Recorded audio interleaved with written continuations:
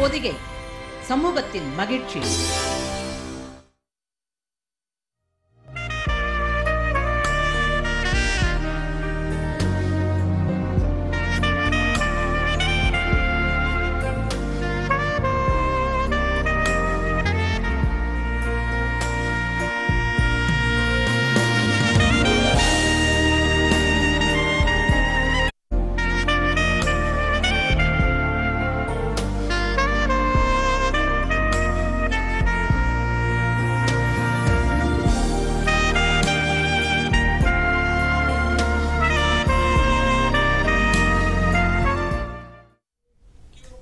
பொதிகை நேர்களுக்கு வணக்கம்.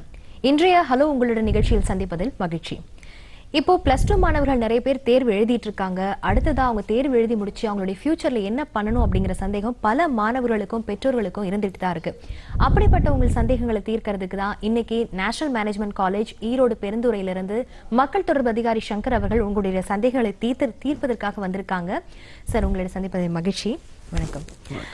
சார் நம்ம தொடர்ந்து பேசிட்டு இருக்கிறது என்னன்னா தொழில்துறை சார்ந்த படிப்பு. தொழில்துறை சார்ந்த படிப்பு வந்து மாணவர்கள் தேர்வு தேர்ந்தெடுக்கிறதுல வந்து வந்து பெரிய சந்தேகம் பெரிய குழப்பம் நிலவிதான் வருகிறது. இந்த குழப்பத்துக்கான காரணம் என்ன? அதாவது இப்போ பொதுவான ஒரு இது நிகழ்ந்துட்டு இருக்கு என்னன்னா இன்ஜினியரிங் எடுக்கணும் எம்பிபிஎஸ் எடுக்கணும். மருத்துவ படிப்பும் இன்ஜினியரிங் தான் இப்போ வந்து பெரிய ஒரு படிப்பா இருந்துட்டு இருக்க நிலைமையில. தொழில்துறை வந்து எப்படிப்பட்ட இந்த படிப்பு அப்படிங்கிற ஒரு அவேர்னஸ் இல்லை அப்படின்னு தான் மாணவர்கள்ட்ட இல்லைன்னு சொல்லணும். இதை எப்படி வந்து நீங்க வந்து மாணவர்கள்ட்ட சொல்லணும்னு எதிர்பார்க்குறீங்க? அதை ஃபர்ஸ்ட் சொல்லிடலாம் சார் ரொம்ப அருமையான கேள்வி. இப்போ ப்ளஸ் டூ தேர்வுகள் எழுதிக்கிட்டு இருக்கிற மாணவர்களுக்கும் இனிமேல் எழுத போகிற டென்த் லெவன்த் ஸ்டூடெண்ட்ஸுக்கும் எங்களுடைய நேஷனல் மேனேஜ்மெண்ட் கல்லூரியின் சார்பாக மிகச்சிறந்த மதிப்பெண்களோடு அவர்கள் வெற்றி பெற வாழ்க்கையிலும் வெற்றி பெற எங்களுடைய வாழ்த்துக்கள். நீங்கள் சொன்னது மாதிரி ஒரு சில படிப்புகள் மட்டுமே தொழில் படிப்புகள் என்ற ஒரு ஒரு கருத்து வந்து தமிழக மக்களிடையே மாணவர்களிடையே நிலவுகிறது நிறைய சிஏ என்கிற சார்ட் அக்கௌண்டன்சி ஆடிட்டர் ஆடிட்டர்னா கொஞ்சம் பேருக்கு தெரியும். ஆடிட்டர்னா தெரியும். சார்ட் அக்கௌண்டன்ட்னா அது கூட நிறைய பேருக்கு தெரியல. ரெண்டும் ஒன்று தான் ரெண்டும் ரெண்டு பேருமே ஒரே நபர் தான் அப்படிங்கிறது தெரியல. காஸ்ட் அண்ட் மேனேஜ்மெண்ட் அக்கௌண்டன்சி இதுக்கு முன்னாடி ஐசிடபிள்யூஏ அப்படிங்கிற லெவலில் கொஞ்சம் பேருக்கு தெரிஞ்சிருந்தது. இப்போ சிஎம்ஏன்னு பேர் மாற்றம் பண்ணியிருக்காங்க. ஸோ இதுவும் நிறைய தமிழக மாணவர்களுக்கு தெரியாமல் இருக்கு. சிஎஸ் அப்படின்னாவே அது கம்ப்யூட்டர் சயின்ஸ் அப்படிங்கிற பேஸில் போகிறாங்க இது கம்பெனி செக்ரட்டரிஷிப் அப்படிங்கிற நிறுவன செயலர் என்ற தொழில் படிப்பு. ஸோ இந்த மூன்று தொழில் படிப்புகளுமே வந்து நிறைய தமிழக மாணவர்களால் அறியப்படாமல் இருக்கிறது. அவர்கள் அறிந்தவரை இது ரொம்ப கடினமான படிப்பு. ஒரு பேப்பரில் வந்து ஃபெயில் ஆனால் எல்லா பேப்பரும் திரும்ப எழுதணும் என்ற ஒரு தவறான கருத்து அறியாமை பயம் இது வந்து ரொம்ப பெரிய புத்திசாலி மாணவர்கள் மட்டும்தான் இதை வந்து படிக்க முடியும். ஒரு ஆவரேஜ் ஸ்டூடெண்ட் வந்து இதில் படிக்க முடியாது பாஸ் பண்ண முடியாது என்ற தவறான கருத்து. இப்படி ஏகப்பட்ட ஒரு தவறான கருத்துக்களும் குழப்பங்களும் மாணவர்கள் மத்தியிலும் பெற்றோர்கள் மத்தியிலும் நிலவிக் கொண்டிருக்கிறது. இதுதான் நிதர்சனமான உண்மை. ஸோ இதையெல்லாம் போக்கும் விதமாகத்தான் எங்களுடைய national management college Perundurai Erode மாவட்டத்தில் கடந்த பன்னிரண்டு வருஷங்களாக வெற்றிகரமாக பல ஆயிரக்கணக்கான மாணவர்களை இதில் உருவாக்கி இப்பொழுது பதிமூன்றாவது வருடத்தில் வெற்றி நடை போட்டு அடியை எடுத்து வைத்திருக்கிறோம். இப்பொழுது அதற்கான சேர்க்கைகள் ஆரம்பமாகிறது. முதலில் நாங்கள் செய்வது தமிழக மாணவர்களுக்கு பள்ளி மாணவர்களுக்கு கல்லூரி மாணவர்களுக்கு முக்கியமாக வணிகவியல் துறையில் இருக்கிற காமர்ஸ் ஸ்ட்ரீமில் இருக்கிற மாணவர்களுக்கு நாங்கள் வந்து இதை பற்றிய விழிப்புணர்வு கரியர் கைடன்ஸ் அண்ட் அவேர்னஸ் ப்ரோக்ராம்னு சொல்லக்கூடிய இந்த விழிப்புணர்வு நிகழ்ச்சியை நாங்கள் வந்து ஏகப்பட்ட பல ஆயிரக்கணக்கான மாணவர்களுக்கும் நாங்கள் கொடுத்து கொண்டிருக்கிறோம். பல பள்ளிகளிலே கல்லூரிகளிலே அரசாங்க பள்ளி உட்பட தனியார் பள்ளிகள் கல்லூரிகள் அரசு கல்லூரிகள் தனியார் கல்லூரிகளிலே இந்த மாணவர்களுக்கு இப்படிப்பட்ட அற்புதமான தொழில் படிப்புகள் வணிகவியல் துறையிலே சிஏ சிஎம்ஏ சிஎஸ் என்ற உலகளாவிய அங்கீகாரம் பெற்ற உலகளாவிய வேலை வாய்ப்புகளை தரக்கூடிய படிப்புகள் இருக்கிறது என்பதை நாங்கள் ஒவ்வொரு வருடமும் ஒவ்வொரு முறையும் நாங்கள் வந்து திரும்ப திரும்ப அவர்களுக்கு நாங்கள் வந்து அந்த விழிப்புணர்வை உண்டாக்கி கொண்டே இருக்கிறோம்.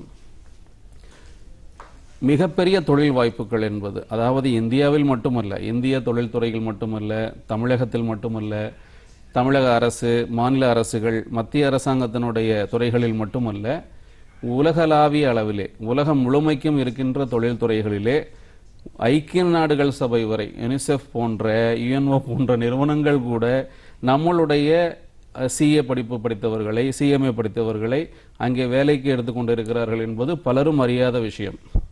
இப்பொழுது நம்முடைய மாணவர்கள் வணிகவியல் மாணவர்கள் www.icai.org dot ICAI dot org என்ற அந்த சிஏ இன்ஸ்டியூட்டினுடைய வெப்சைட்ல போய் பார்த்தாங்கன்னா யூனிசெஃப்ல இருந்து வேலைக்கு கேட்டிருக்காங்க. யூனிசெஃப்ல ப்ராஜெக்ட்ல ப்ராஜெக்ட் ஓரியன்டா அங்க வந்து நம்மளுடைய சிஏ படிச்சவங்க வேணும். அதுக்கு எவ்வளவு சம்பளம் அப்படின்னு சொல்லி நம்ம நம்ம நம்ம மக்கள் நம்ம மாணவர்கள் நம்ப முடியாத ஊதியம் எல்லாம் அதிலே சொல்லப்பட்டிருக்கிறது.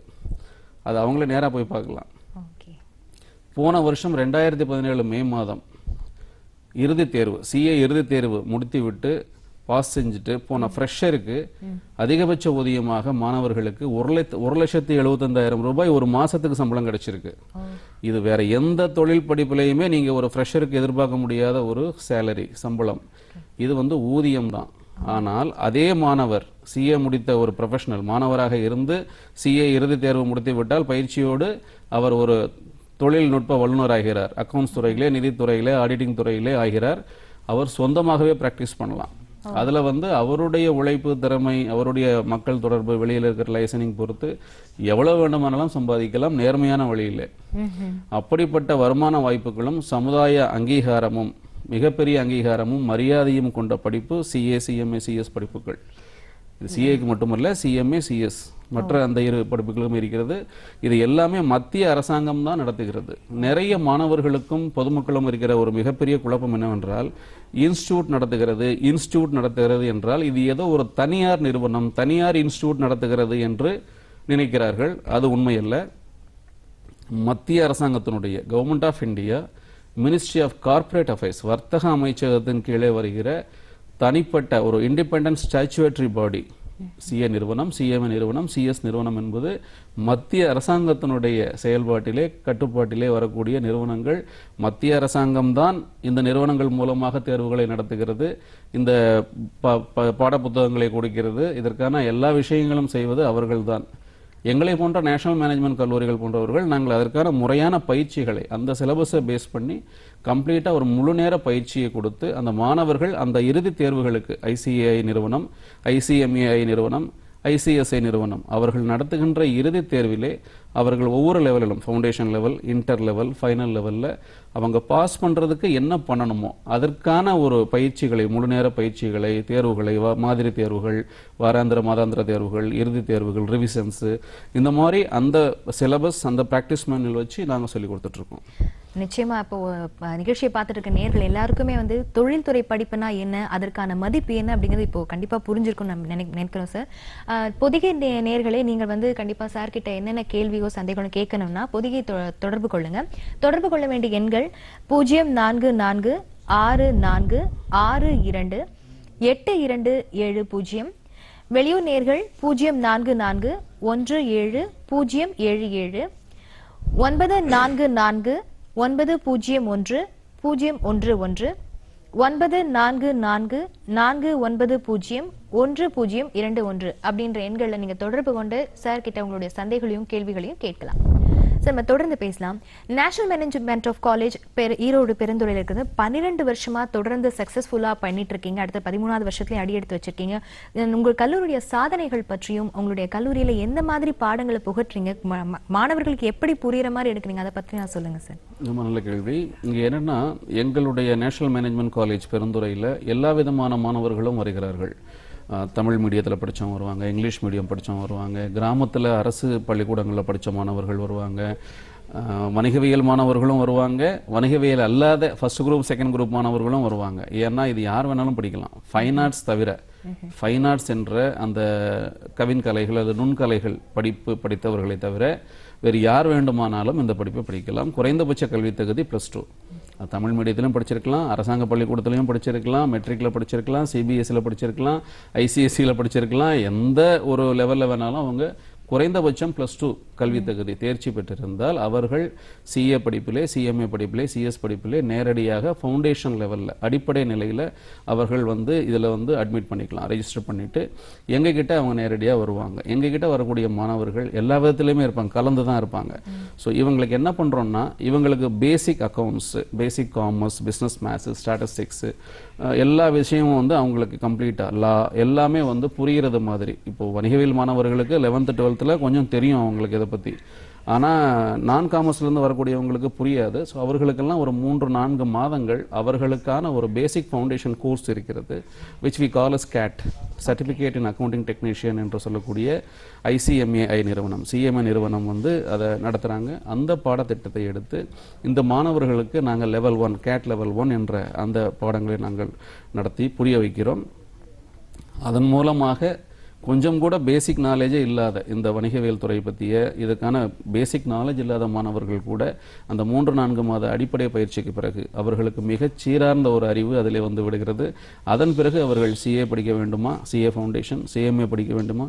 அதிலே போகலாம். சிஎஸ் படிக்க வேண்டுமா? அதுக்கு போகலாம். இந்த கேட் லெவல் பாஸ் பண்ணுறது மூலமாக டைரெக்டாக சிஎம்ஏலாம் இன்டர் லெவல்லையே போயிடலாம். ஃபவுண்டேஷன் படிக்க வேண்டிய அவசியம் கிடையாது. ஓகே சார் ஸோ இப்போ நீங்கள் மீடியம் பற்றி பேசுனீங்க. அதாவது த- ஆங்கில வழி கல்வி படித்த மாணவர்கள் இருக்காங்க தமிழ் வழி கல்வி படித்த மாணவர்கள் இருக்காங்க. தமிழ் வழி கல்வி படித்த மாணவர்களால் இதை படிக்க முடியாதுங்கிற ஒரு ஒரு என்ன சொல்கிறது நம்பிக்கை தான் நிலவி வருதுன்னு சொல்லலாம். அந்த அந்த மாணவர்களுக்கு நீங்கள் எப்படி என்ன சொல்ல வரீங்க சார் அதை சொல்லுங்கள் நம்ம கண்ணு முன்னாடி இன்றைக்கி இருக்கக்கூடிய senior auditors senior chartered accountants India முழுமைக்கும் தமிழகத்தில் மட்டுமல்ல இப்போ நம்ம தமிழ்நாட்டில் தமிழ் மாணவர்களை பற்றி சொல்றதுனால தமிழகத்திலே எடுத்துக்கொண்டோமானால் இருபத்தைந்து முப்பது வருடங்களுக்கு முன்பு சிஏ கோர்ஸ் முடித்துவிட்டு சிஎம்ஏ முடித்துவிட்டு சிஎஸ் முடித்துவிட்டு பிராக்டிஸ் செய்து கொண்டிருப்பவர்கள் மிகப்பெரிய தொழில் நிறுவனங்களிலே வந்து மிகப்பெரிய அதிகாரிகளாக சிஇஓவாக சிஎஃப்ஓவாக பணியாற்றி கொண்டிருப்பவர்கள் அத்தனை பேருமே தமிழ் மொழியிலே படித்தவர்கள் தான் தொண்ணூத்தொன்பது சதவீதம் பேர். மிக எல்லாருமே மிக நன்றாக அறிந்த ஒன்று என்ற பெயரை பற்றி சொல்ல வேண்டுமானால் தமிழகத்தை பொறுத்தவரை ஆடிட்டர் எஸ் குருமூர்த்தி சுவாமிநாதன் குருமூர்த்தி ஐயா. துக்ளக் பத்திரிகையினுடைய ஆசிரியராக இருப்பவர் மிகப்பெரிய பொருளாதார மேதை உலகம் முழுமைக்கும் மதிக்கப்படுகிற பொருளாதார மேதை.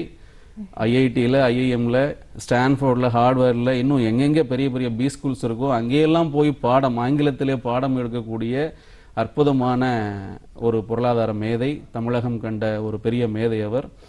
அவர் தமிழ் மீடியத்தில் தான் ப்ளஸ் டூ வரைக்கும் படிச்சிருக்காரு.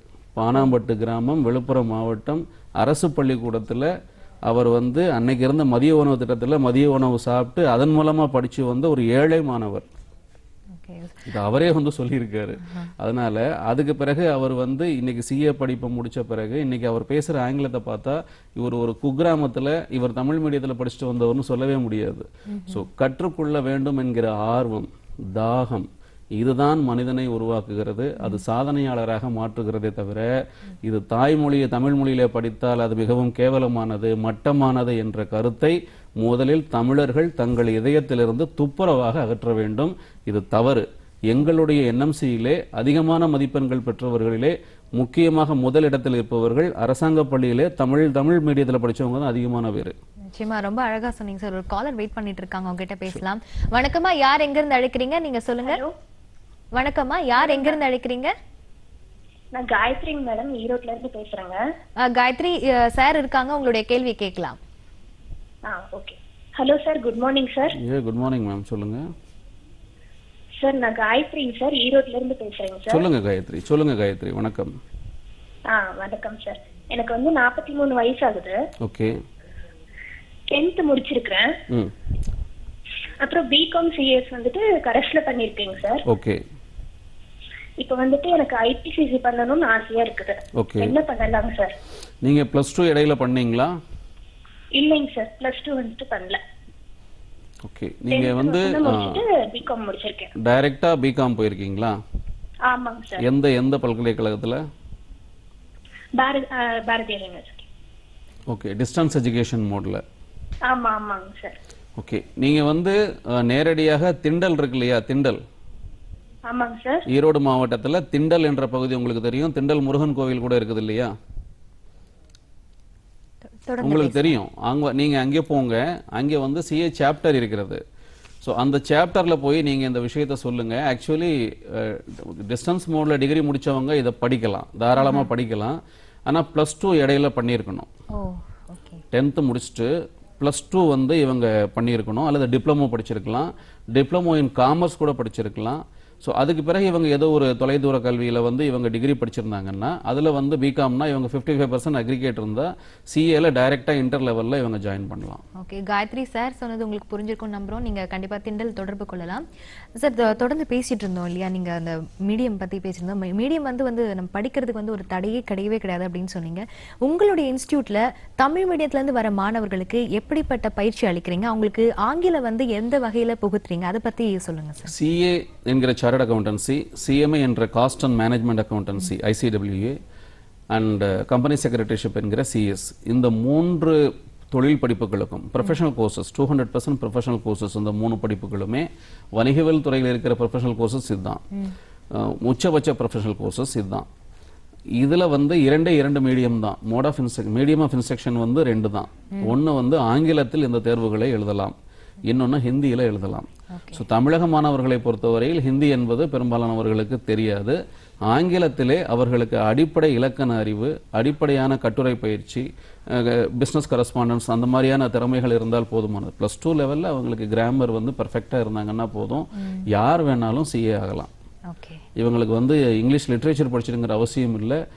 முழுக்க முழுக்க ஆங்கில மீடியத்தில் கான்வென்ட்டில் படிச்சுட்டு வந்திருக்கணுங்கிற கட்டாயம் எதுவுமே கிடையாது. ஸோ அவர்களுக்கு பேசிக் ப்ளஸ் டூ லெவலில் இருந்தால் போதும். ஏன்? நாங்கள் என்ன பண்ணுறோம் எங்களுடைய மிக தேர்ச்சி மிக்க சிஏ சிஎம்ஏ சிஎஸ் படித்த பேராசிரியர்கள் எங்களிடம் இருக்கிறார்கள். சிஏ சிஎம்ஏ படித்தவர்கள் சிஏ சிஎஸ் படித்தவர்கள். இந்த மாதிரி வேறுபட்ட அற்புதமான அனுபவம் மிக்க இருபத்தைந்து ஆண்டுகளுக்கும் மேலாக இந்த மாதிரி சிஏ சிஎம்ஏ சிஎஸ் படிப்புகளை முடித்தவர்கள் எங்களிடம் பல பேர் இருக்கிறார்கள். பல பேராசிரியர்கள் இருக்கிறார்கள். இவர்கள் எல்லாருமே என்னன்னு கேட்டிங்கன்னா அந்த குழந்தைங்களுக்கு வந்து இங்கிலீஷில் தான் பாடம் எடுப்பாங்க.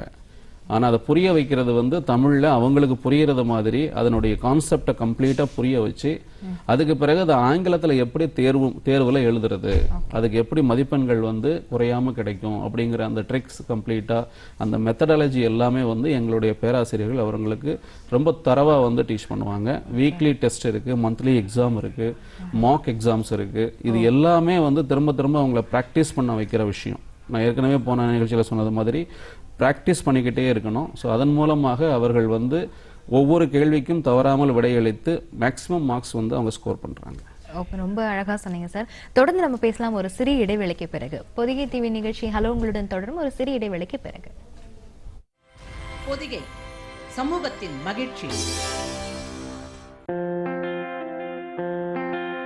சிறகடி சிறகடி நீயும் சிறகடி சிறகடி நீயும். இனி பயம் எதுக்கு? இனி தடை எதுக்கு? இனி சோர்வெதுக்கு சிறகடி சிறகடி நீயும். சிறகடி சிறகடி நீயும். கவலையின்றி சிறகடி மனம் போல் சிறகடி.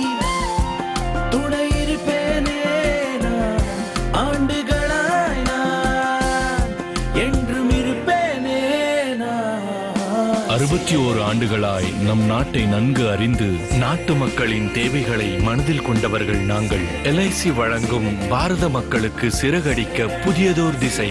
எல்ஐசி எப்போதும் உங்களுடன் பாதுகாக்கும் இரு கரங்களுடன். பொதிகை சமூகத்தின் மகிழ்ச்சி. பொதிகை சமூகத்தின் மகிழ்ச்சி. நமது பொதிகையில் மார்ச் எட்டாம் தேதி உலக மகளிர் தின சிறப்பு திரைப்படம். உங்களை மாதிரி ஆம்பளைங்க பொம்பளைங்களை கட்டிக்க காசு பணம் கேட்கறதுனால தான் எங்களை மாதிரி பொம்பளைங்களை நாயை விட கேவலமா மதிக்கிற. எல்லா ஆம்பளைங்களும் ஒரே மாதிரி இருக்க மாட்டாங்க.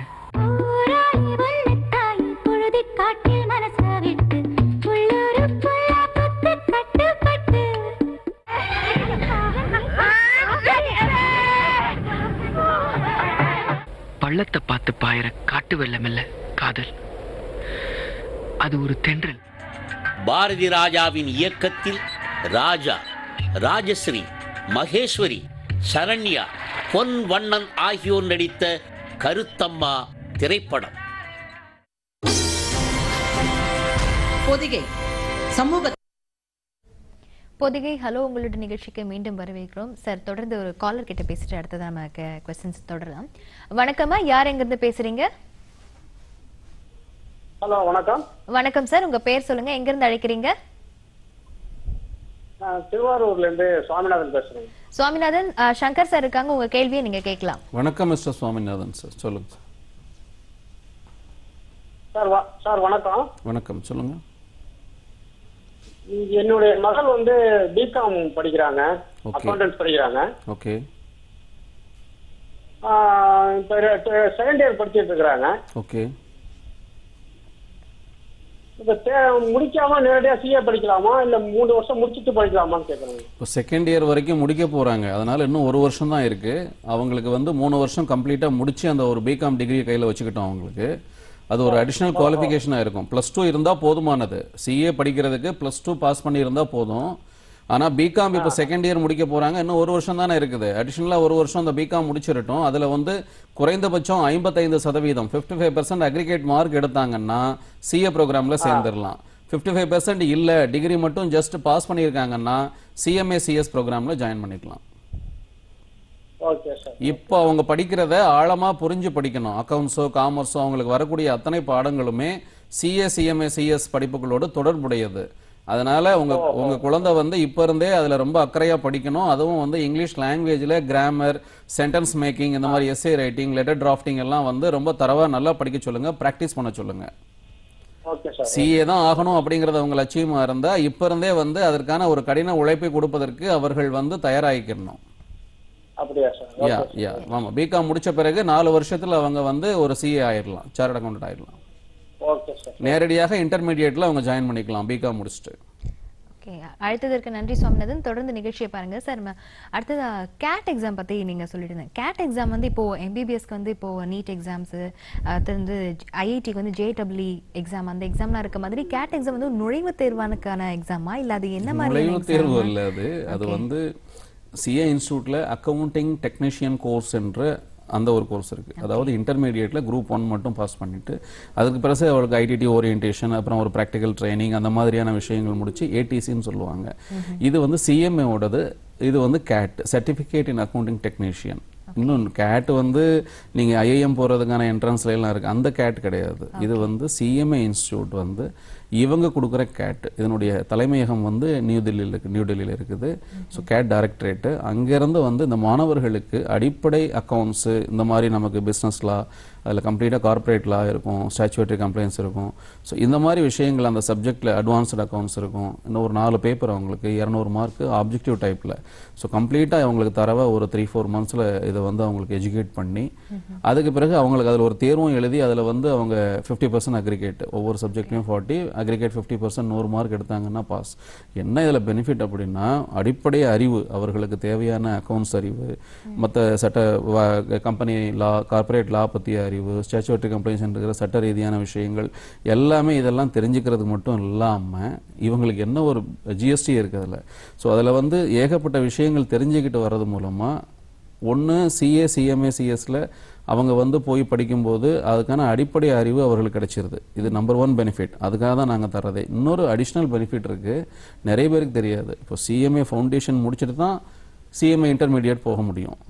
அல்லது ஏதோ ஒரு டிகிரி முடிச்சுட்டு அதுக்கு பிறகு சிஎம்ஏ இன்டர்மீடியட் போக முடியும். ஆனால் ப்ளஸ் டூ படித்த மாணவர்கள். குறைந்தபட்ச கல்வி தகுதி CAT level one CAT level two இரண்டு இருக்கிறது. கேட் லெவல் ஒன் போதுமானது.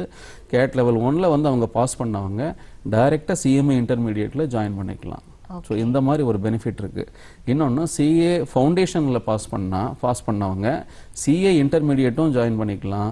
சிஎஸ் கம்பெனி செக்ரட்டரிஷிப்பில் எக்ஸிக்யூட்டிவ் ப்ரோக்ராம் என்ற இன்டர் லெவல்லையும் ஜாயின் பண்ணிக்கலாம் ஸோ கேட்டு கேட் வித் இந்த சிஏ ஃபவுண்டேஷன் அல்லது கேட் வித் சிபிடி இந்த மாதிரி அவங்க படித்து வரும்போது இவர்களுக்கு இந்த சிஏ சிஎம்ஏ சிஎஸ் மூணுலையுமே போய் ஏதோ ஒரு இன்டர்மீடியட் லெவலில் அவங்களுக்கு பிடிச்சதுல ஜாயின் பண்ணிக்கலாம். ஃபவுண்டேஷன் கோர்ஸ் இல்லாம இன்டர்மீடியட் லெவல்ல டைரக்டா டைரக்டா போயிடலாம் இந்த கேட் எக்ஸாம் எல்லா மாணவர்களுமே எழுதணுமா? இல்ல இல்ல அதெல்லாம் இல்ல. இந்த நுழைவுத் தேர்வு என்பது கிடையாது. சிஏக்கு வந்து நுழைவுத் தேர்வு இதுக்கு முன்னாடி இருந்த சிபிடி காமன் ப்ரொஃபஷியன்சி டெஸ்ட் என்பதுதான் அந்த மாதிரி நுழைவுத் தேர்வாக இருந்தது. அது வந்து first July two thousand seventeen July ஒன்று ரெண்டாயிரத்தி பதினேழுல ஜிஎஸ்டி இம்ப்ளிமெண்ட் பண்ண அன்னைக்கு நம்மளுடைய பிரதமர் மோடி அவர்கள் புது சிலபஸ் சிஏக்கான புது சிலபஸையும் வந்து அவர் தான் லான்ச் பண்ணார். அவர் கையில தான் லான்ச் பண்ணாங்க இன்ஸ்டியூட்ல ஸோ அதுக்காக வந்து என்ட்ரன்ஸ் கிடையாது. இப்போ என்னன்னா சிஏ ஃபவுண்டேஷன் என்பது டைரெக்டாக வந்து இப்போ சிஏ கரிக்குலமில் ஒரு பார்ட் ஆயிருச்சு. அதுல வந்து நாலு சப்ஜெக்ட் இருக்குது. Accounts and business law business correspondence அதில் இருக்கக்கூடிய லா பிஸ்னஸ் லா இரண்டுமே வந்து அவர்களுக்கு சப்ஜெக்டிவ் டைப் அது. இன்னொன்று பிஸ்னஸ் மேத்ஸ் பிஎம் என்று சொல்வது ரீசனிங் டெஸ்ட்டு அப்புறமா லா ஸ்டாட்டிஸ்டிக்ஸு அதுவும் அப்புறம் பிஸ்னஸ் எக்கனாமிக்ஸு ஸோ அதெல்லாம் வந்து அவங்களுக்கு அந்த கடைசி இரண்டு பேப்பர்கள் வந்து ஆப்ஜெக்டிவ் டைப்பு ஒவ்வொன்றும் நூறு நூறு மார்க்கு ஃபஸ்ட்டு ரெண்டு சப்ஜெக்டிவ் மீதி ரெண்டு ஆப்ஜெக்டிவ் டைப் ஸோ அதில் வந்து அவர்கள் குறைந்தபட்சம் நாற்பது சதவீத மதிப்பெண்கள் எடுத்து அக்ரிகேட் ஃபிஃப்டி பர்சன்ட் எடுத்தாங்கன்னா நானூறுக்கு இரநூறு எடுத்தாங்க அப்படின்னா அவர்கள் தேர்ச்சி பெற்று அவர்கள் வந்து சிஏ இன்டருக்கும் போகலாம் சிஎஸ் இன்டருக்கும் போகலாம் ஓகே சார் ஸோ இப்போ ஆல் ஓவர் இந்தியா வந்து நம்ம இந்த தொழில்துறைக்கான படிப்புக்கு வந்து இன்ஸ்டியூட் எல்லாமே வச்சு நடத்திட்டு தான் இருக்காங்க. But NMC national management of college வந்து ஈரோடு பெருந்துறை இருக்க. உங்களுடைய மாணவர்களின் தனிச்சிறப்பு என்ன? அவர்கள் எந்த விதத்தில் வந்து பயிற்றுவிக்கப்படுகிறார்கள்? இதை பற்றி சொல்லுங்க சார் இதுக்கு இந்த தொழில் படிப்புகளை படிப்பதற்கு ஒரு சீரியஸ்னஸ் வேணும். இன்னொன்று மன நிம்மதி அமைதி அதுக்குன்னு ஒரு ஒரு அட்மாஸ்பியர் கிரியேட் பண்ணணும். இருக்கணும். இருந்தால் மட்டும்தான் அவர்கள் வந்து மிகச்சிறப்பாக தேர்ச்சி பெற முடியும். இதுதான் உண்மை.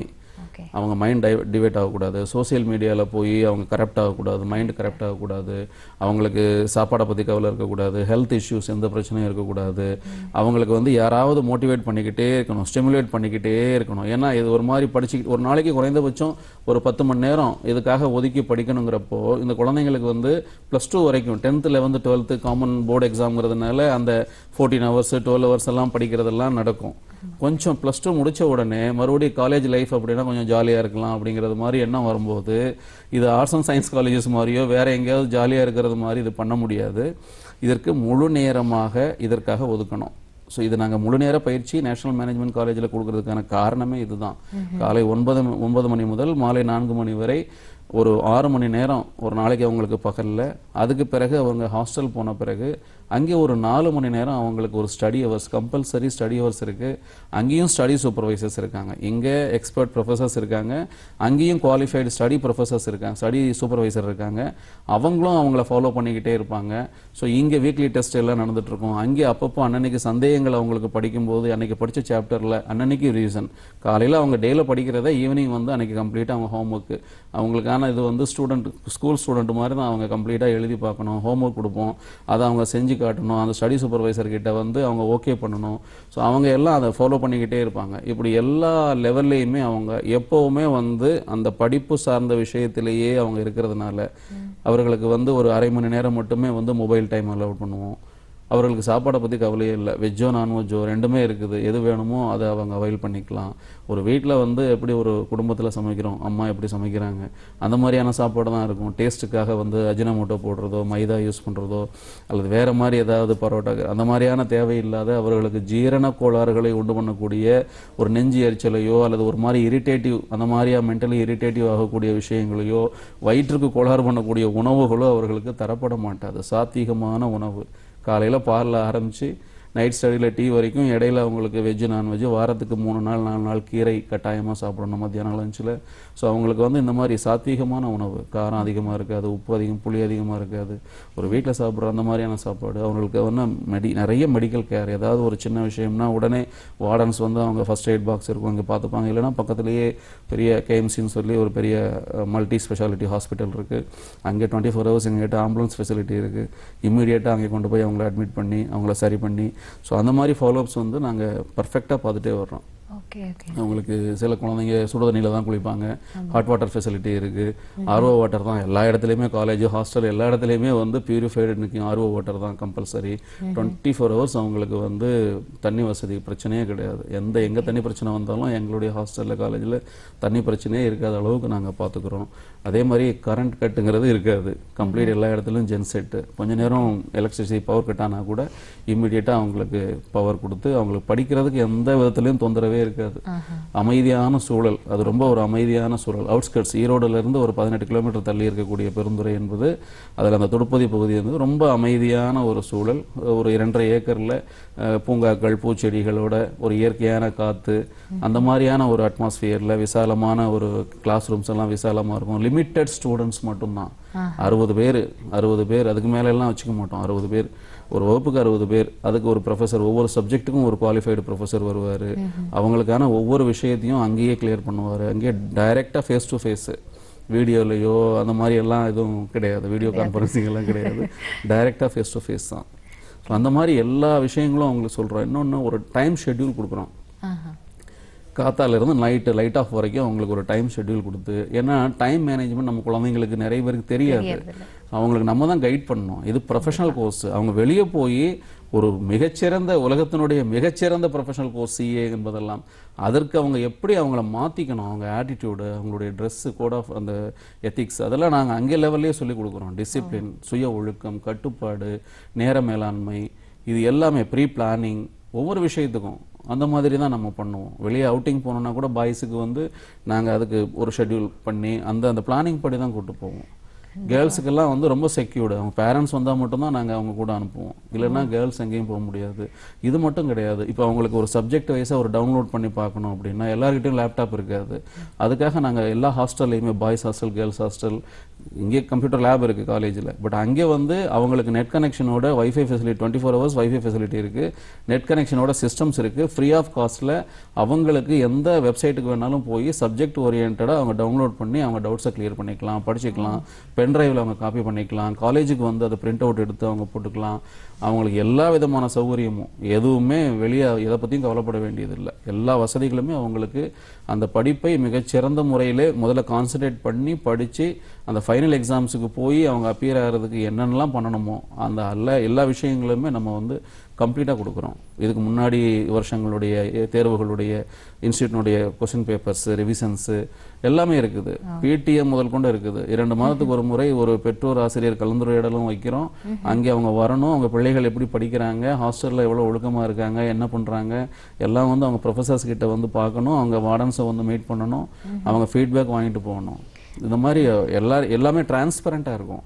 இவர்களுடைய வீக்லி டெஸ்ட் மந்த்லி எக்ஸாமை நாங்கள் ப்ராக்ரஸ் ரிப்போர்ட்டாகவே ஸ்கூலில் அனுப்புறது மாதிரி ப்ராக்ரஸ் ரிப்போர்ட்டாகவே அவங்க எவ்வளோ மதிப்பெண்கள் எடுத்திருக்காங்க ப்ளஸ் அவங்களுடைய அட்டண்டன்ஸ் எவ்வளவு காலேஜ் அட்டண்டன்ஸ் எவ்வளவு எல்லாத்தையும் அவங்க பேரண்ட்டுக்கு நாங்கள் பை போஸ்ட் அனுப்பிடுவோம். ஒவ்வொரு மாதமும் வந்து ஃபர்ஸ்ட் வீக்கில் அவங்களுக்கு போயிடும் கையில் கிடைச்சிரும். ஸோ அவங்க என்ன பெர்ஃபார்மன்ஸ் அவங்க குழந்தைங்க பண்ணிக்கிட்டு இருக்காங்க அப்படிங்கிறத பற்றி அதனால பேரண்ட்ஸ்க்கு எந்த கவலையும் தேவையில்லை. அவங்க எங்ககிட்ட விட்டுட்டு அவங்க நிம்மதியாக இருக்கலாம். நாங்கள் சொல்கிற விஷயங்களை அந்த குழந்தைங்க ஃபாலோ பண்ணுறதுனால அந்த குழந்தைங்களுக்கு எதை பற்றியும் கவலை இல்லை. எங்கள் ஸ்டூடெண்ட்ஸுக்கு வந்து எந்த பிரச்சனையும் இல்லை எந்த எதை பற்றியும் கவலை இல்லை. நிச்சயமா. So, சார் இந்த மாதிரியான. காலர். அழைப்புல இருக்காங்க அங்க பேசலாம் சார். வணக்கம்மா யார் எங்கிருந்து அழைக்கிறீங்க? ஹலோ? ஆ வணக்கம்மா யார் எங்கிருந்து அழைக்கிறீங்க சொல்லுங்க. மேடம் வணக்கம் சொல்லுங்கம்மா சங்கர் சார் இருக்காங்க உங்க கேள்வியை கேட்கலாம்.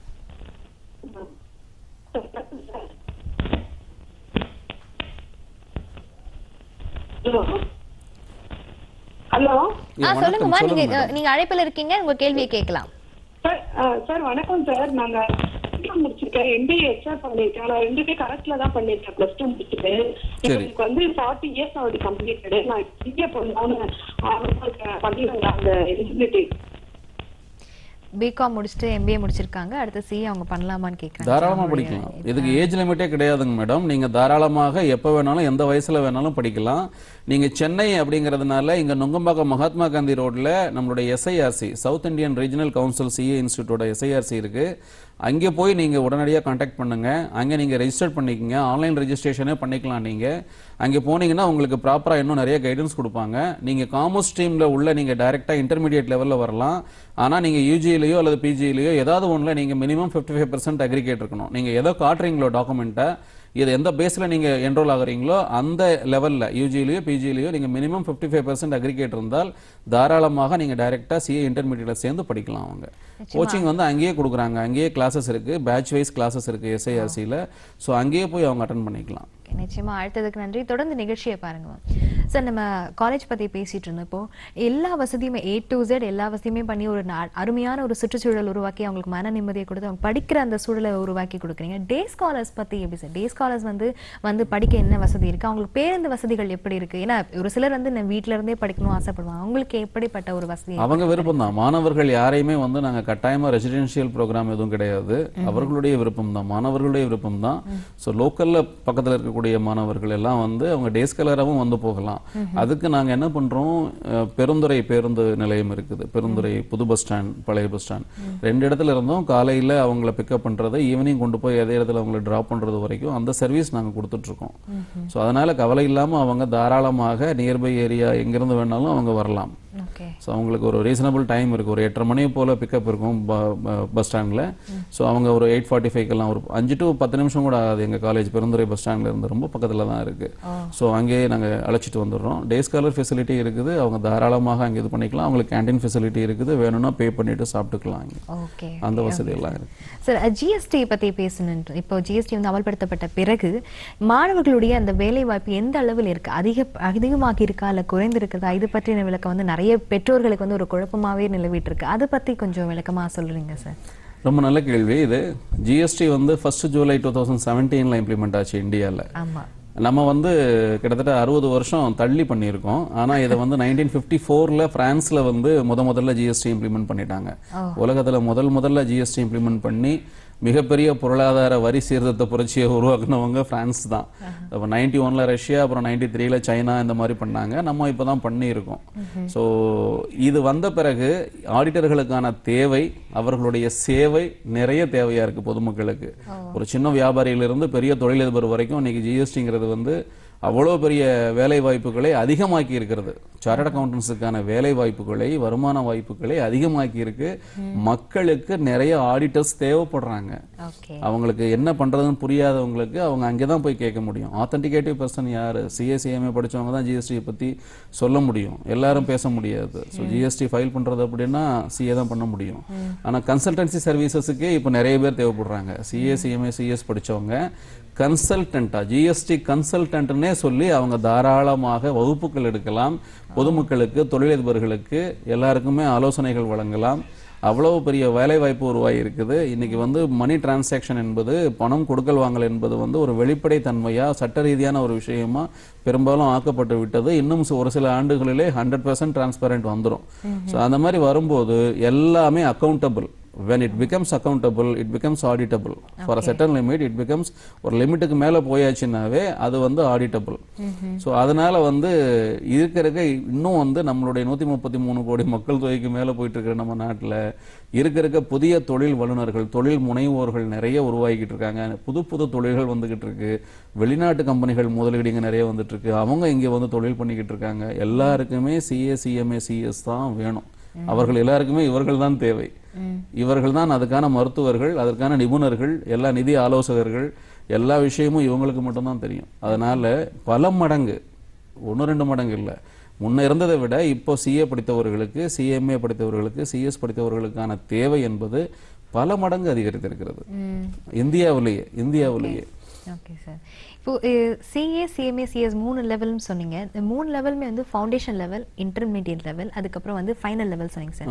இந்த மூணு கோர்ஸுமே வந்து எடுத்து முடிச்சு படிச்சு முடிக்கிறதுக்கு எத்தனை வருஷம் ஆகும்?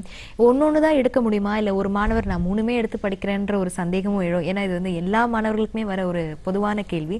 ஒன்னொன்னு தான் எடுக்க முடியுமா? இல்ல மூணுமே ஒண்ணா எடுக்கலாமா? எத்தனை வருஷம் ஆகும்? இதை பற்றி கொஞ்சம் அதாவது. சின்ன வயசுல இருந்தே ஒரு எயித்து நைன்த்து டென்த் லெவல்ல இருந்து ஒரு பெற்றோர்கள் வந்து ஒரு குழந்தைய வந்து இதை பத்திய ஒரு விழிப்புணர்வோட உருவாக்கி வந்தாங்கன்னா ஃபார் எக்ஸாம்பிள் நிஷல் நாராயணன் பத்தொன்பது வயசுலயே சிஏ முடிச்சிட்டாரு அவரு. அப்புறம் ஆதித்ய ஜவார். ஆதித்ய ஜவார் வந்து இப்போ சூரத்தில் வந்து குஜராத்தில் இருபத்தோரு வயசுல சிஏவும் முடிச்சிட்டாரு சிஎஸும் முடிச்சிட்டாரு இப்போ சிஎம்ஏ முடிச்சிட்டாரு. Indira Gandhi national open university இக்னோவில் வந்து ஒரு பிகாமும் முடிச்சிட்டாரு. இருபத்தோரு வயசு தான். ஸோ இவங்களுக்கெல்லாம் வந்து என்னன்னா ஆதித்ய ஜவாருக்கு அவங்க அப்பா சிஏ இன்டர் பாஸ் பண்ணவர். அவங்க அப்பா சிஏ இன்டர் பாஸ் பண்ணிட்டு குடும்பத்துல தொழிலை போய் பார்க்கணும் அப்படிங்கிறதுனால பிஸ்னஸுக்காக கண்டினியூ பண்ண முடியலன்னு சொல்லி பிஸ்னஸுக்கு போயிட்டாரு. அதனால பிள்ளையை அந்த மாதிரி உருவாக்கணும்னு சொல்லி ஒரு வெறியோட வந்து மூணையுமே படிக்க வச்சிட்டாரு. இருபத்தோரு வயசுல பதினஞ்சு வயசுல ஆதித்ய ஜவார் வந்து சிஏ படிக்க ஆரம்பிச்சாரு. இப்போ நம்ம தமிழ்நாட்டுல வந்து அந்த அளவுக்கு விழிப்புணர்வு வந்து சென்னை மாதிரி திருச்சி மாதிரி அந்த மாதிரி பெரிய கோயம்புத்தூர் மாதிரி ஒரு சில பெரிய மாநகரங்களிலே வேணுமானாலும் இருக்கலாம். அது கூட வந்து நிறைய பயந்து பயந்து. என்ன நினைச்சிடுறாங்கன்னா பேரண்ட்ஸ் வந்து அவங்களாவே வந்து ஒரு ப்ரீ அசம்சன் அவங்களாவே ஒரு முடிவுக்கு வந்துடுறாங்க. ஒரு முன் முடிவுக்கே. வந்துக்கிறார்கள்.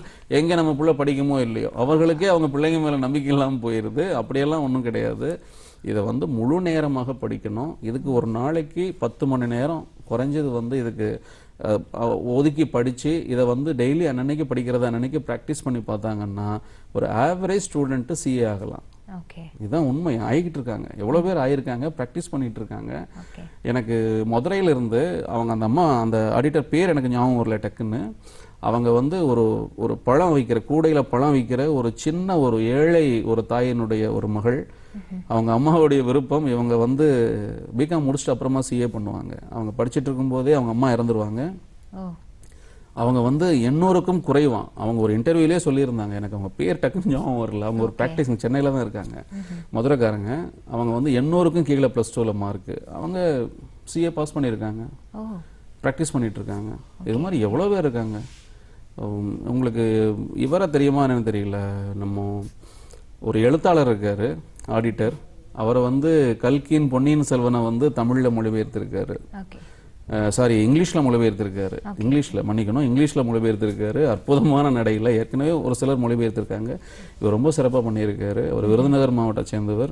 ஒரு அருமையான ஆன்மீக எழுத்தாளர் வேற. யாரும் நீங்க யோசிங்க மக்கள் யோசிக்கட்டும். ஒருத்தர் இருக்காரு அவர் நிறைய தினமலர்ல எல்லாம் நிறைய எழுதுவார் ஆன்மீக இதெல்லாம் எழுதுவார். இப்போ பொன்னியின் செல்வனும் ஆங்கிலத்துல அற்புதமா மொழிபெயர்ப்பு பண்ணியிருக்காரு விருதுநகர் மாவட்டத்துக்காரரு. அவரெல்லாம் கிராமத்து பள்ளியில படிச்சவர். சின்ன கிராமம். ஒரு மல்லாங்கனர்னு ஒரு ஏரியா. அதுக்கும் பக்கத்தில் இருக்கிற ஒரு சின்ன ஒரு ஏரியால வந்தவர்.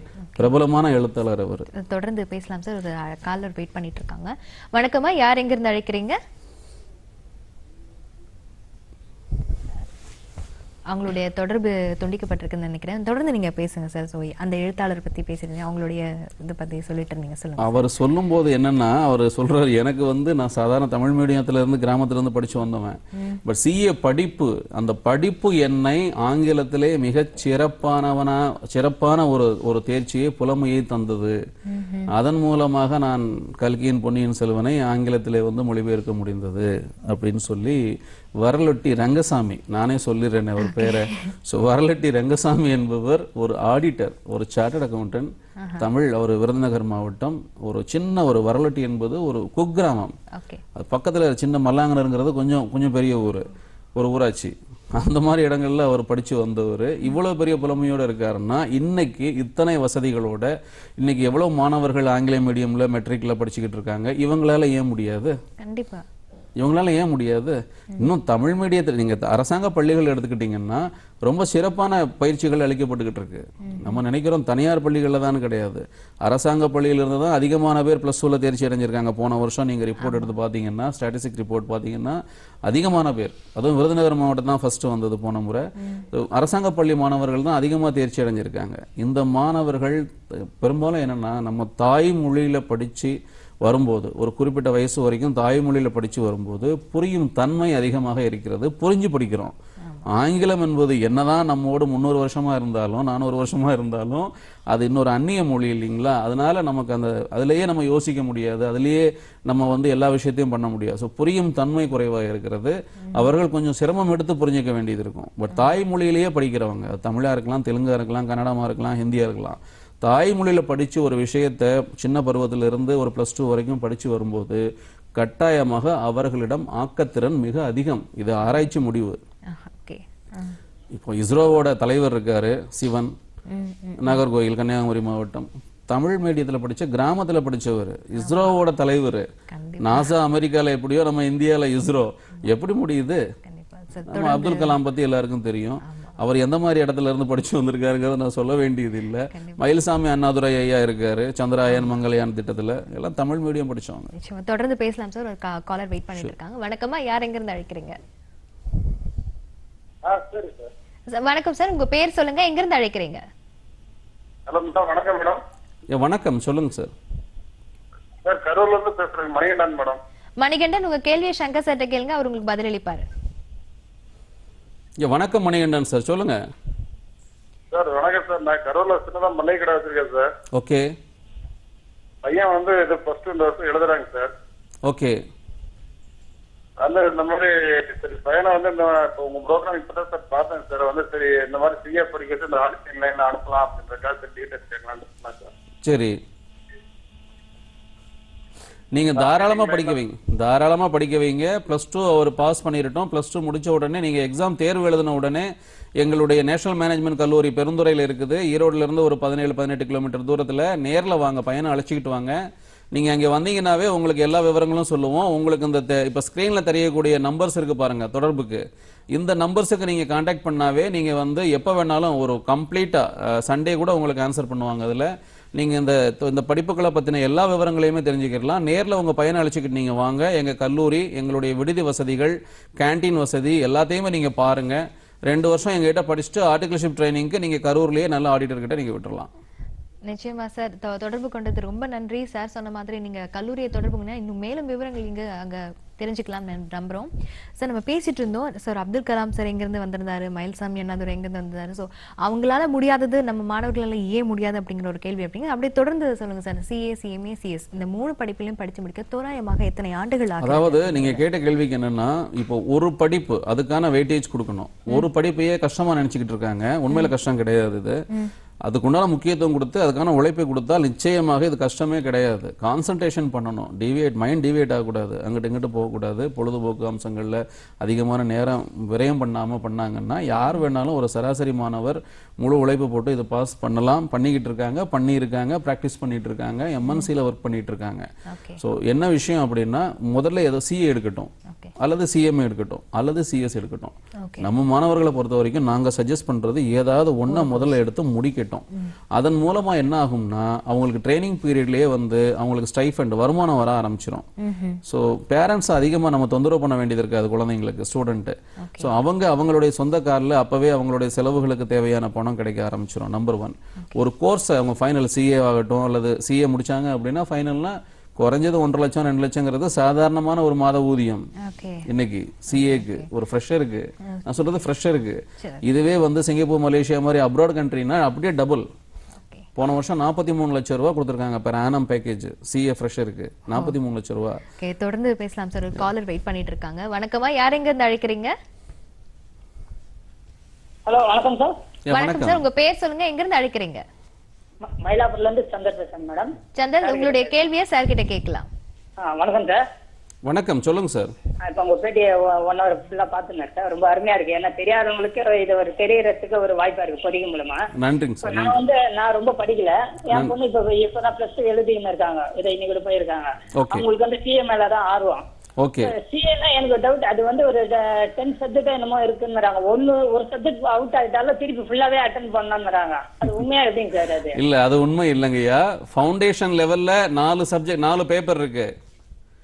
பிளஸ் டூ முடிச்சுட்டு வந்த உடனே அவங்களுக்கு ஒரு ஃபவுண்டேஷன் லெவல்ல நாலு பேப்பர் இருக்கு. இந்த நாலு பேப்பர் அவங்க பாஸ் பண்ணிட்டு அதுக்கு பிறகு இன்டர் ஃபைனல்ங்கிற ரெண்டு லெவல் இருக்கு. இந்த இன்டர்மீடியட்ல வந்து குரூப் ஒன் குரூப் டூ அப்படின்னு சொல்லி ரெண்டு பிரிவு இருக்கு.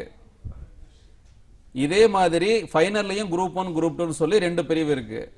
இப்போ ஒவ்வொரு குரூப்பையும் ஒரு யூனிட் அப்படின்னு சொல்லி எடுத்துக்கிடுவாங்க. இப்போ குரூப் ஒன் பாஸ் பண்ணிட்டாங்கன்னா குரூப் டூல ஒரு பேப்பர்ல ஒரு ஸ்டூடெண்ட் ஃபெயில் ஆகுறாங்கன்னா அந்த ஃபெயில் ஆனதை தவிர்த்து அந்த குரூப்ல மீதி மூணு பேப்பர் இருக்கும் இல்லைங்களா? எந்த குரூப்பா இருந்தாலும் நாலு நாலு பேப்பர் தான் இருக்கும். நாலு நாலு சப்ஜெக்ட் தான். ஸோ அந்த அந்த மூணு பேப்பர்ல அறுபது சதவீத மதிப்பெண்கள் சிக்ஸ்டி பர்சன்ட் ஆர் அபவ் எடுத்தாங்கன்னா ஃபெயில் ஆனதை மட்டும் எழுதுனா போதும். ஏற்கனவே ஒரு குரூப் பாஸ் பண்ணிட்டாங்கன்னா திரும்ப அவங்க அதை எழுத வேண்டிய அவசியமே கிடையாது. இப்போ இன்டர்ல குரூப் ஒன் குரூப் டூல குரூப் டூல வந்து ஒரு பேப்பர்ல ஃபெயில் ஆனா திரும்ப பாஸ் பண்ண குரூப் ஒன்ல போய்கிட்டு திரும்ப எழுதணுங்க அவசியமே இல்லை. அதே மாதிரி ஃபைனல்ல குரூப் ஒன் குரூப் டூ இருக்குது அப்படின்னா அங்கே குரூப் டூல வந்து ஃபைனல்ல ஒரு பேப்பர்ல ஃபெயில் ஆகுறாங்க அப்படின்னா குரூப் ஒன் பாஸ் பண்ணிட்டாங்க. குரூப் டூல ஒரு பேப்பர்ல ஃபெயில் ஆயிருக்காங்கன்னா திரும்ப குரூப் ஒன் பாஸ் பண்ணதை எழுதணுங்கிற அவசியம் இல்லை. அந்த குரூப் டூல எந்த பேப்பர்ல அவங்க வந்து மினிமம் வந்து சிக்ஸ்டி பர்சன்ட் எடுத்திருக்காங்களோ ஸ்கோர் பண்ணியிருக்காங்களோ அந்த சிக்ஸ்டி பர்சன்ட் எடுத்திருந்தா அது எக்ஸம்டட் அது வந்து எக்ஸம்ஷன் கேட்டகரியில் வந்துரும். ஃபெயில் ஆனதை மட்டும் எழுதுனா போதும். அல்லது அந்த நாலு பேப்பர்ல ஒரு பேப்பர் ஃபெயில் ஆயிருக்காங்க அப்படின்னா ரெண்டு பேப்பர்ல அறுபது மார்க் அறுபதோ அல்லது அதுக்கு மேலேயோ எடுத்துட்டாங்க. சிக்ஸ்டி பர்சன்ட்டுக்கு மேலே எடுத்துட்டாங்கன்னா ஒரு பேப்பர்ல சிக்ஸ்டி பர்சன்ட் கீழே எடுத்திருக்காங்க. ஒரு பேப்பர்ல ஃபெயில் ஆயிருக்காங்கன்னா ஃபெயில் ஆனதும் சிக்ஸ்டி பர்சன்ட்டுக்கு கீழே எடுத்ததும் மட்டும் அந்த ரெண்டு பேப்பர் மட்டும் எழுதுனா போதும். நிறைய பேர் என்ன நினைக்கிறாங்கன்னா முக்கியமான விஷயம் சொல்லிடுறேன். ஃபைனல்ல போய் ஒரு பேப்பர்ல ஃபெயில் ஆனா திரும்ப ஃபவுண்டேஷன்ல இருந்து எல்லாத்தையும் எழுதணும். இது நிறைய மாணவர்கள்ட்டையும் பெற்றோர்கிட்டையும் இருக்கிற தவறான கருத்து தேவையில்லாத அச்சம். இது தேவையே கிடையாது. இதனாலதான் நிறைய நல்லா படிக்கக்கூடிய மாணவர்கள் எல்லாம் வந்து பயந்து போய் ஒதுங்கி சிஏனாவே இந்த மாதிரி இருக்குதுன்னு நினைக்கிறாங்க. இந்த மாதிரி விஷயத்த இப்படி தவறான புரிதலை அறியாமையை அகற்றுவதற்காகத்தான் நேஷனல் மேனேஜ்மெண்ட் கல்லூரி இந்த நிகழ்ச்சியை நடத்தி கொண்டிருக்கிறது. நிச்சயமா இப்போ நீங்க சொன்னதுல அவருக்கு ரொம்ப நல்லா புரிஞ்சிருக்கும் நம்புறோம். சார் தொடர்ந்து நிகழ்ச்சியை பாருங்க. அழைத்ததற்கு நன்றி. சார் நம்ம பேசிட்டு இருந்தோம். ஒரு கோர்ஸ் எடுத்தாலே போதும். அது அந்த கோர்ஸ் ஒரு கோர்ஸ் எடுத்து முடிச்சிட்டு அதுக்கு பிறகு அவங்க அடுத்தது பண்ணலாம். இப்போ சிஏ முடிச்சிடலாம். சிஏ முடிச்ச உடனே அவங்களுக்கு வருமான வாய்ப்பு வந்துடும் ஓனா பிராக்டிஸ் பண்ணாலும் சரி ஜாபுக்கு போனாலும் சரி இந்தியாவிலனாலும் சரி உலகம் முழுக்க எங்க வேணாலும் வேலைக்கு போகலாம். சிஏ சிஎம்ஏ முடிச்சவங்க சிஎஸ் முடிச்சவங்க. ஸோ எங்கேயோ வேலை பார்த்துட்டு கை நிறைய சம்பாத்தியம் பண்ணிக்கிட்டு அவங்க லைஃப்பை நல்லா சந்தோஷமா என்ஜாய் பண்ணிக்கிட்டு சிஎம்ஏ எடுக்கட்டும் சிஎஸ் எடுக்கட்டும். ஏதோ ஒண்ணு முதல்ல எடுத்துட்டு அதுக்கு அடுத்து ஒவ்வொன்றா எடுத்து படிக்கட்டும். இப்போ என்ன அதுல பெனிஃபிட் இருக்குதுன்னா எல்லாத்தையுமே ஃபவுண்டேஷன் எழுத வேண்டியதில்லை. ஏதாவது ஒரு கோர்ஸ் படிச்சாங்க அப்படின்னா அவங்களுக்கு வந்து இன்டர் லெவல்ல இருந்து அடுத்த கோர்ஸ்ல ஆரம்பிக்கலாம். அதே மாதிரி சிஎம்ஏ முடிச்சவங்க சிஎஸ்ல நிறைய பேப்பர் எக்ஸாம்ஷன் இருக்கு. சிஎஸ் முடிச்சவங்களுக்கு சிஎம்ஏல நிறைய பேப்பர் எக்ஸாம்ஷன் இருக்கு. ஸோ இந்த மாதிரி எல்லாம் இருக்கு. ஈவன் லா படிச்சவங்களுக்கே சிஎஸ்ல நிறைய பேப்பர் எக்ஸாம்ஷன்ஸ் இருக்கு. என்ஜினியரிங் முடிச்சவங்களுக்கு வந்து இன்டர்ல சிஎம்ஏல வந்து இன்டர்ல எக்ஸாம்ஷன் இருக்கு. ரெண்டு பேப்பர் எக்ஸாம்ஷன் இருக்கு. ஸோ இந்த மாதிரி நிறைய எக்ஸாம்ஷன்ஸ் இருக்கு. ஸோ அதுக்கு தகுந்த மாதிரி அவங்க வந்து எடுத்து படிக்கலாம். ஒவ்வொன்றா எடுத்து படிக்கிறது தான் அட்வைசபிள் இல்லைன்னா கன்ஃபியூஸ் ஆயிடுவாங்க நிறைய மாணவர்களுக்கு அதை பற்றிய வழிகாட்டுதல் வேணும் புரிதல் வேணும். ஸோ முதல்ல ஒன்று எடுக்கணும் அதை முடிக்கணும் அதுக்கு அதில் நல்ல ஒரு வருமானம் வந்துக்கிட்டு சம்பாத்தியத்தில் இருந்துக்கிட்டு அப்புறமா ஒன் பை ஒன் முடிச்சுட்டு ட்ரிப்ளெட் ஆயிடலாம் மூணு கோர்ஸையும் படிச்சு ட்ரிப்ளெட்னு சொல்லுவாங்க. மூணு கோர்ஸையும் படிச்சவங்கள. அது மாதிரி ஆகிக்கிடலாம் அப்புறமா டைரெக்டாக பிஹெச்டி சிஏ முடிச்சாவே டைரெக்டாக பிஹெச்டி போகலாம். ஐஏஎம்ல வந்து டைரெக்டாக ஃபெலோஷிப் பண்ணலாம். இந்த மாதிரி அவங்களுக்கு ஏகப்பட்ட விஷயம் இருக்கு. நிச்சயமா சார் கடந்த ஒரு மணி நேரம் எப்படி போனதுன்னே தெரியல. நீங்க ரொம்ப அழகாக அந்த சிஏ எப்படி எடுக்கிறது சிஎம்ஏ எப்படி படிக்கிறது சிஎஸ் எப்படி படிக்கிறது ரொம்ப விளக்கமா சொன்னீங்க. நிகழ்ச்சி நிறைவுக்கு வந்துட்டோம் சார். இன்னொரு நிகழ்ச்சியில் நம்ம தொடர்ந்து வந்து பேசலாம். இந்த நிக நிகழ்ச்சியில் பங்கேற்றதுக்கு ரொம்ப நன்றி. பொதிகை நிகழ்ச்சிகளே நேர்களே இன்னும் அடுத்த நிகழ்ச்சியில் சந்திக்கலாம். நன்றி வணக்கம். பொதிகை சமூகத்தின் மகிழ்ச்சி.